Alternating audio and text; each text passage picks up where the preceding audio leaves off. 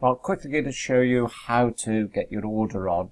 Um, at the moment it's not fully working for everyone. So if you go to vivamk.com and then log in with my account and then click on make an order then that will display the order inside and you see it's all in a, a line down there and then there's another section at the bottom um, just like to say the search facility is really quick and hopefully soon we can be just clicking add to cart. At the moment for a lot of people that's not working.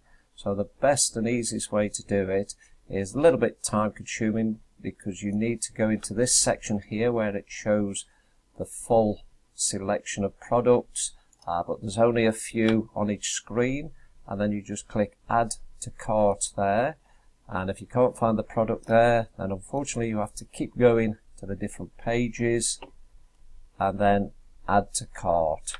And then just click add to cart. And then when you go to cart you can see all the products you've added. If you've added too many, you can just change the quantity, or if you want to delete the whole lot, just press the red cross at the moment. So hopefully uh, soon it will all be fully functional, but this is a quick way of actually getting your products on there, and then you can start putting your orders through. When you put everything on, just go to checkout,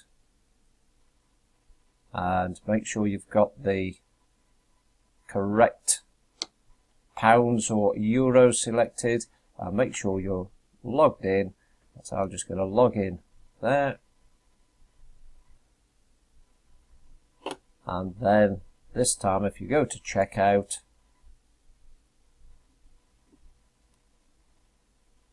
it's showing everything you've got there and then you can make the card payment Hope that helps. Okay, bye now.